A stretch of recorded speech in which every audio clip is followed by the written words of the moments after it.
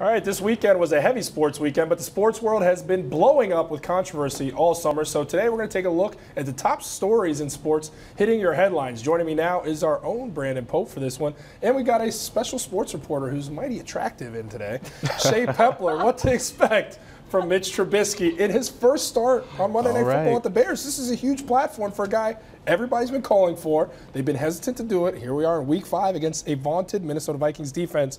Should we be expecting the worst or should we be optimistic? No, optimistic? I think we should be optimistic. I mean, first of all, this is the first time a rookie quarterback is going to start on Monday Night Football since 1999. So Mm-hmm. you'd think the pressure would really be on him, but he's very cool, very calm, collected, and he's been like that since day one. Even when the media would ask him, "When do you think you're going to start? What's your Mm-hmm. relationship like with Mike Glennon?"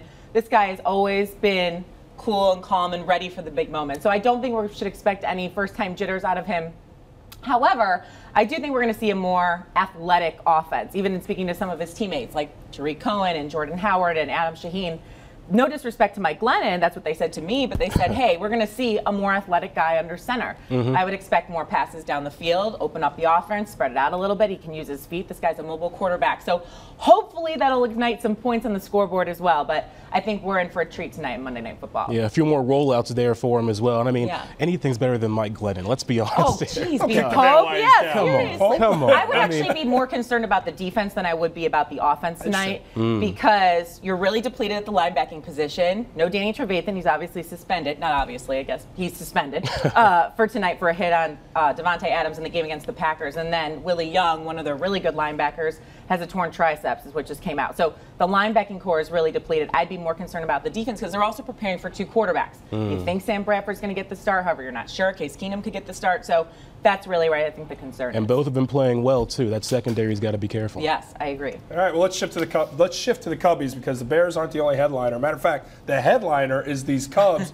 Jose Quintana traded from the South Side Yeah. here on the North Side. Now he's playing some big time baseball. His first postseason appearance. It's in Wrigley. The series is tied. Shae, what's going to happen with this one? Um, on the other hand, where I said Mitchell Trubisky, cool, calm, and collective, I definitely think Jose Quintana has got some first-time jitters. Oh, this is his first playoff Oh, appearance.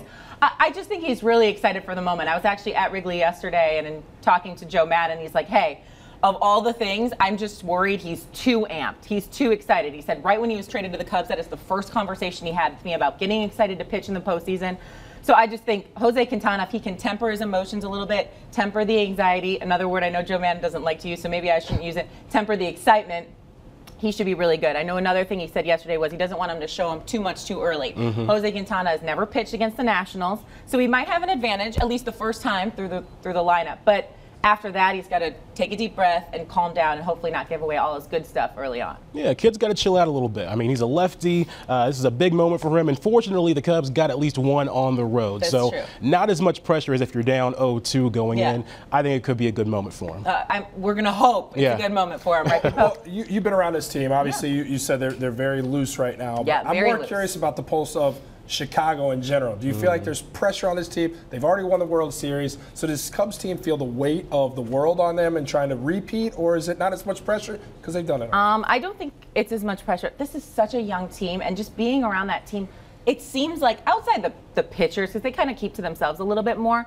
they are so cool and calm. I've used that term now so many times in this in this interview, but they, yesterday they had breakfast on the field. They were watching football hmm. on the field. Very chill. They were running around. They were bunting, playing catch. Dan Zoris was out there with his kids playing catch, and everyone was getting involved. I mean, you would not know it's playoff baseball time at all. And that is something that Joe Maddon has really harped on. He wants it to feel loose. He says, I don't understand going out and getting a longer scouting report in the playoffs. I don't understand adding more pressure to your guys because that just makes their mind turn. It doesn't make any sense to me. So he wants it to stay light and loose. And I'd say, I don't think they feel fresh pressure. However, I think it's World Series or bust if you're a Chicago sports fan. okay, so in your personal life, you're probably used to a guy saying some dumb stuff every now and again. No, uh, very, very. I'm very used to it. A lot of people co-signing that out there. Okay. Yeah, that's Interesting. That's not that's not the answer. How about exactly that? thought we were gonna get right.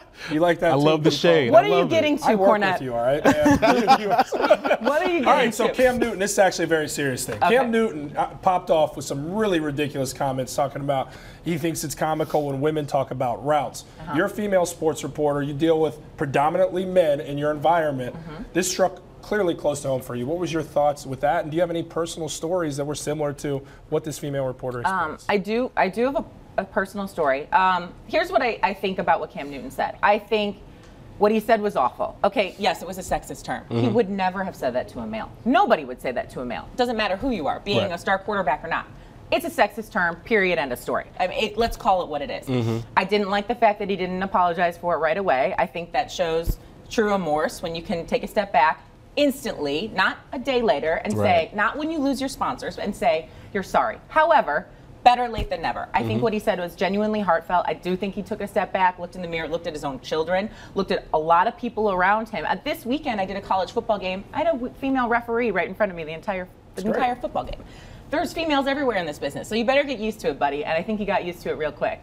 Shame on Cam, but I think he did the right thing in apologizing. As far as me and a personal experience, yeah, it, it happens. I was at a college basketball game last year. Um, I was getting ready, and before college basketball games, I always talk to the trainers and the SIDs, um, sports information directors, introduce you to those trainers right before the game. So I said, hey, I have yet to meet the trainer for this said basketball team. Would you mind just pointing him out to me?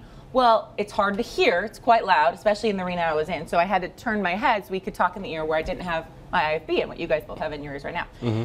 And so I was looking the opposite direction, and he points. He goes, "You know my team's in green, right?" Insinuating I didn't even know which team I was talking about. Oh, and I looked at him like, "Yeah, I know what team I'm covering. Thank you. Why are you even saying that to me?" So I didn't have time to really get into it with him, which I regret. But How do you deal with that but stuff when it I. I just looked at him like with disgust and Mm-hmm. said, "Yes, I know what team I'm covering. I'll find the trainer myself. Thank you." And I walked away.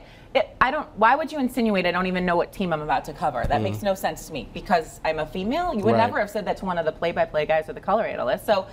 That would be my personal experience, and Yeah. it, it just took me back. I actually went home and told my boyfriend about it right away, and he couldn't believe the story either. I mean, it was just rude. So I just sometimes I think people need to understand there are females in this business, Mm-hmm. and everyone knows the same amount of information. We, I might not have the same experiences as someone that's played hoops or played football, but I can understand what a route is. I can understand what color the team is supposed to be in. Simple things. This isn't Yeah. rocket science. Do you ever feel like there's more pressure on you as a woman in sports? Yes, to, 100%. yeah. If I mispronounce a name, I'm a dumb blonde, which uh, is fair sometimes, okay? stop. but if- a male does that, we look past it. Mm. If I say a stat wrong, I, I don't know what I'm talking about. If a male does that, we look past it. I do feel like I have to study four times more for something than a male does. You know, Mm. it's just the nature of the beast. One thing I've learned is never interrupt and always stay out of the crosshairs of Shae Peppler. Hey, there you the go. All right, sports are the topic of today's poll. We want to know what are you most excited for? Cubs game three or Mitch Trubisky's debut tonight? Vote now on our Facebook page at the Jam TV show, and we'll check in